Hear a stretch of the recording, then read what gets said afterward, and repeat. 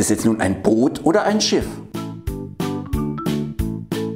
Bundesrepublik Deutschland, Michel Nummer 2428, Tag der Briefmarke aus dem Jahr 2004. Eine wohl eher oberflächliche Recherche führte bei der Ausgabe Tag der Briefmarke Flugboot DOX aus der Serie Post vom 7. Oktober 2004 zu einer falschen Bezeichnung. Die DO-X wird in historischen Quellen immer als Flugschiff bezeichnet. Dies belegen unter anderem Amtsblätter der Reichspost und ein Vortrag von Claude Dornier von der Wissenschaftlichen Gesellschaft für Luftfahrt am 6. November 1929. Folgerichtig wurden auch alle Flugbestätigungsstempel der DO-X mit der Bezeichnung Flugschiff versehen. Daraus ergibt sich dieser Fehler auf der Briefmarke. Hier sollte Flugschiff und nicht Flugboot stehen.